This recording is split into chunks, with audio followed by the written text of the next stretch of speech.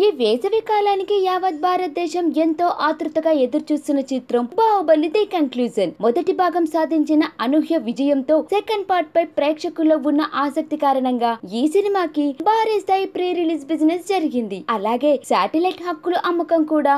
స్థాయిలోనే జరిగినట్టు సమాచారం ప్రముఖ టీవీ ఛానల్ స్టార్ మా ఈ హక్కుల్ని కొనుగోలు చేసింది గతంలో మొదటి భాగాన్ని కూడా ఎక్కువ మొత్తం ఇచ్చి కొనుగోలు చేసిన స్టార్ మా దాన్ని టీవీలో ప్రసారం చేసి అద్భుతమైన టీఆర్ ఆర్పి రేట్లతో మంచి లాభాల్ని గణించింది అందుకే ఈ రెండవ భాగాన్ని కూడా కొనుగోలు చేసి ఇంకాస్త ఎక్కువ లాభాల్ని అందుకోవాలని చూస్తుంది ఇకపోతే ఏప్రిల్ ఇరవై ఎనిమిదవ తేదీన సుమారు ఎనిమిది వేల ఐదు వందల స్క్రీన్లలో ఈ చిత్రం